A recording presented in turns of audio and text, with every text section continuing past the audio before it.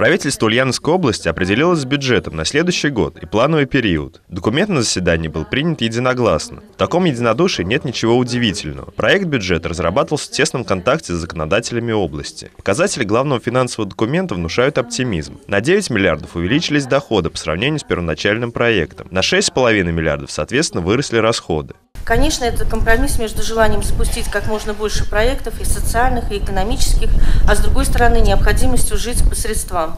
Поэтому и мы, формируя свой бюджет на всех этапах рассмотрения, значительное внимание уделяли улучшению структуры расходов и формированию расходов с учетом региональных инициатив, которые позволяют ответить на экономические, социальные, технологические и политические вызовы.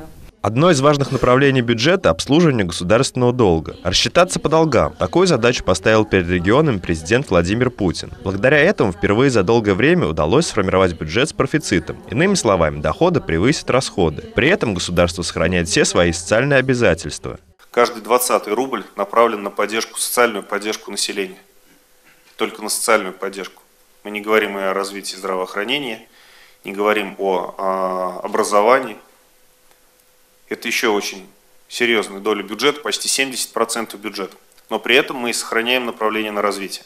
Среди других трат фигурирует поддержка сельского хозяйства, формирование комфортной городской среды, развитие сектора жилищно-коммунального хозяйства. Новой статьей расходов стало выделение средств на выполнение наказов избирателей. Что же касается доходов, то они, как и прежде, создаются за счет налогов. Основную прибыль принесут акцизы и налог на имущество предприятий. Теперь бюджету предстоит рассмотрение в законодательном собрании. Но и в принятый вариант возможно внесение изменений. Егор Титов, Юрий Конихин, Новости дня, Ульяновская правда.